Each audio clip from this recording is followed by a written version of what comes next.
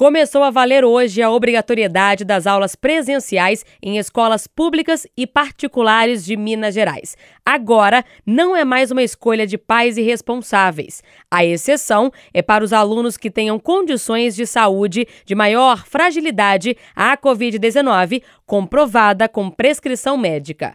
Além disso, acaba a exigência de distanciamento de 90 centímetros entre as pessoas nas instituições de ensino.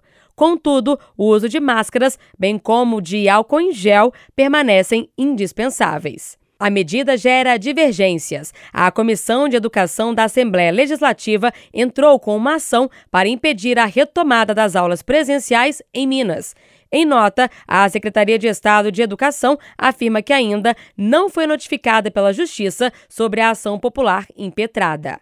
De acordo com o governo do estado, a medida é possível devido à redução de novos casos de Covid-19 em Minas, em associação com o avanço da vacinação. Segundo o último balanço da retomada presencial, a rede estadual soma 3.024 escolas em todo o estado que retornaram, em 695 municípios, com cerca de um milhão e meio de estudantes matriculados. Atualmente, 157 cidades ainda não possuem decretos municipais impeditivos vigentes e, por isso, ainda não iniciaram as atividades. Repórter Fernanda Viegas.